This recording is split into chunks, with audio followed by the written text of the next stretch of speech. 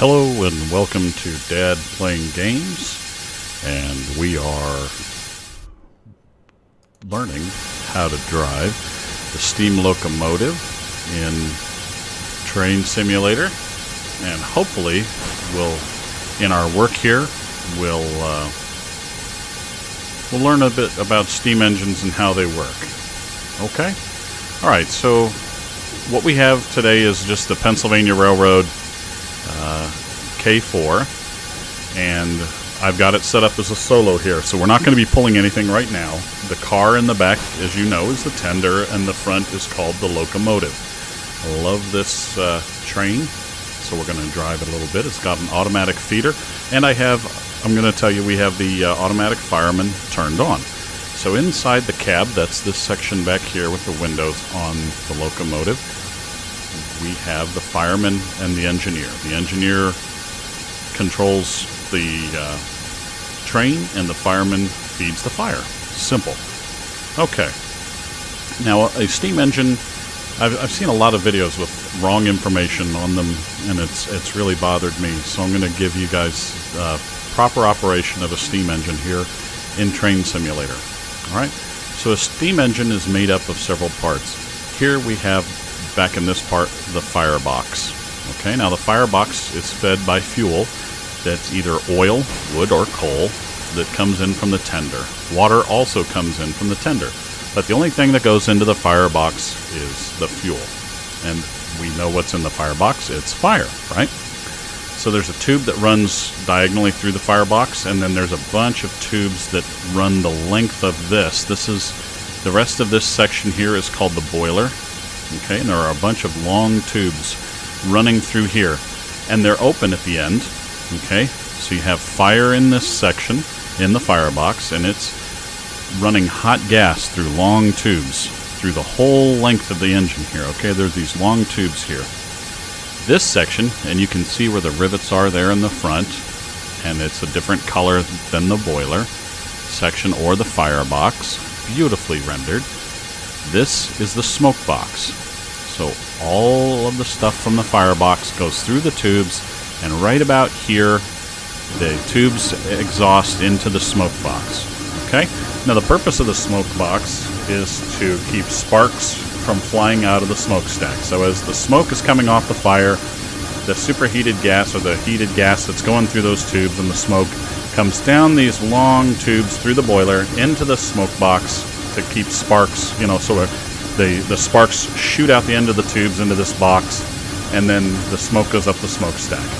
Okay, now, this section is called the boiler for a reason, and it surrounds both the firebox and the tubes. Okay, and it's full of water. All of this is full of water on the outside of the firebox and on the outside of the tubes. Alright, so the tender pumps water in here. Now, this is called the steam dome. Alright? And what happens is you fire up the train, you get it nice and hot. These hot tubes in this water boil the water in here. Okay?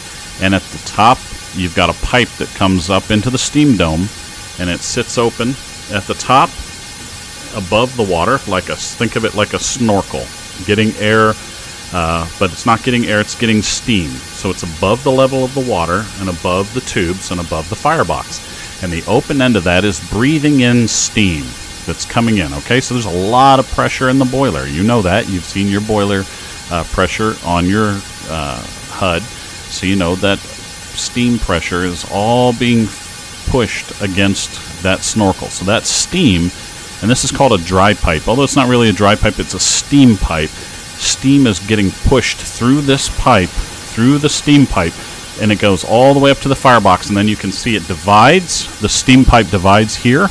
You see the steam pipe coming out there on that side, and it, and there. So in the middle here, in the firebox, or the smoke box, sorry about that.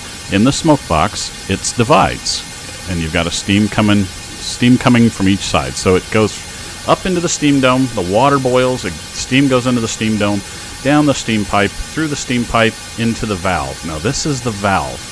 And the valve sort of um, looks like a thimble, or, or a, um, not a thimble, a, a spool. Okay? So it's wide on each end, but sort of narrow in the middle, and it moves back and forth. Okay, when we get the train going, what's happening is we're moving this valve back and forth, and the first chug that you hear is a is a half turn of the wheel. Okay, this is the piston. Okay, piston is in here, and it's like a big plunger. All right. Now, the piston's going to move all the way forward and back, forward and back. Now, what moves the piston is we, the valve opens up. Okay, steam is allowed in. You you open the um, you open the regulator, and the steam comes through here, and it comes down through the steam pipe, and in let's say this front side of the valve. Okay, the valve is open, and it allows steam into this side of the cylinder. All right, and the as the heat in there builds or the steam builds, that steam expands and pushes against the cylinder, and the cylinder goes back and drives the drive wheels half turn. When the cylinder expands all the way down to the rearward of the uh, casing that it's in here, when the when that sort of valve, that that plunger goes all the way to the end of the of the uh, cylinder here, the valve admits steam on the back side and at the same time all the steam that was pressurized and pushing that plunger is exhausted out through the smokestack as well.